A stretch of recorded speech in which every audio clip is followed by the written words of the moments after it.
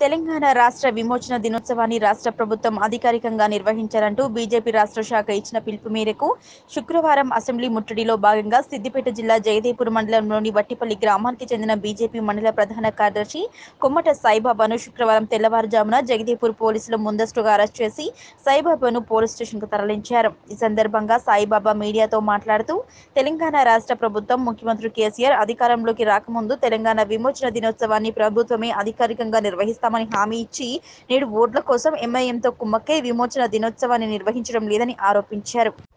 నేడు నిర్వహించే అసెంబ్లీ ముట్టడిని విఫలం చేసేందుకు బీజేపీ నాయకులను కార్యకర్తలను పోలీసులతో ముందస్తులో అరెస్టులు చేయించడం సిగ్గుచేటన్నారు ఇప్పటికైనా సెప్టెంబర్ పదిహేడున టీఆర్ఎస్ ప్రభుత్వం అధికారికంగా విమోచన దినోత్సవాన్ని నిర్వహించాలని బీజేపీ పక్షాన డిమాండ్ చేస్తున్నామన్నారు. గట్టిగా. ఈరోజు తెలంగాణ రాష్ట్ర భారతీయ జనతా పార్టీ బండి సంజయ్ అన్న గారి పిలుపు మేరకు అసెంబ్లీ ముట్టడి కార్యక్రమం ఉండే సెప్టెంబర్ సెవెంటీన్ అధికారికంగా జరిపించాలని గత పదిహేను ఏళ్ళుగా బీజేపీ పోరాడుతూనే ఉంది.